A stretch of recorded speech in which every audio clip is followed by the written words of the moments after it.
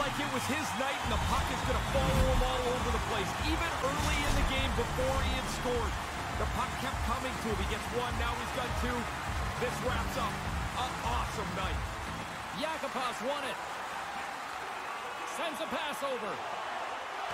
And that pass doesn't go. It's in the back of the net for an own goal. Edmonton's got the one-goal lead